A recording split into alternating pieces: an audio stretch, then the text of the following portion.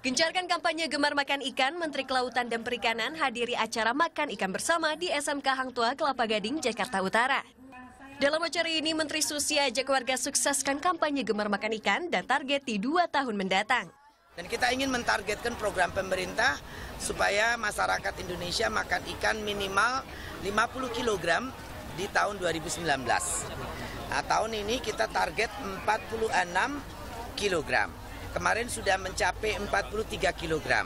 Jadi pemerintahan Pak Jokowi sudah berhasil dengan kampanye dan keberadaan adanya ikan yang begitu melimpah itu bisa menaikkan konsumsi makan ikan dari 36 kilo menjadi 43 kilo.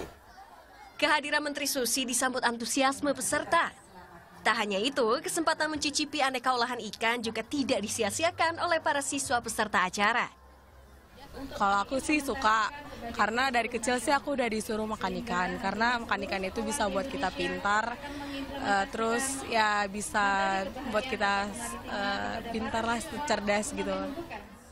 Selain Menteri Susi, acara ini juga dihadiri Panglima Koarmabar, Laksda Aan Kurnia, dan Wakasal Laksdia Ahmad Taufikur Rahman. Selain mendukung program pemerintah, kegiatan ini digelar dalam rangka hari ulang tahun Yayasan Hang Tua ke-71 tahun. Maria Citra, Aswald Nainggolan melaporkan untuk NET.